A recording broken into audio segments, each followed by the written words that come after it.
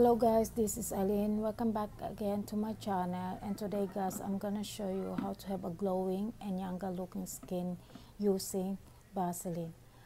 This product guys it's really really helped me a lot in so many ways because I use Vaseline to take care of my lashes and eyebrows.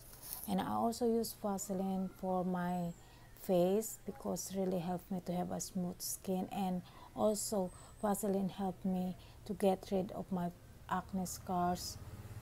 And I also use this product to help me to take care of my lips. And I always use Vaseline as a moisturizer all over my body and it's really really helped me a lot. This product's really good.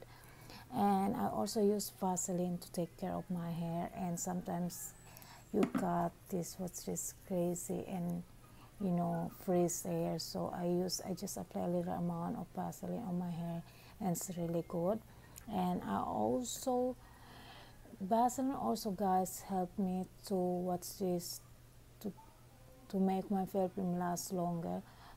I just apply a little amount of vaseline on on the body part of where i want to put the perfume. It's really really good. And it's really helpful to watch this to make your perfume last longer. And thank you guys for watching. If you like the video please subscribe to my channel. And thank you guys for watching. Bye bye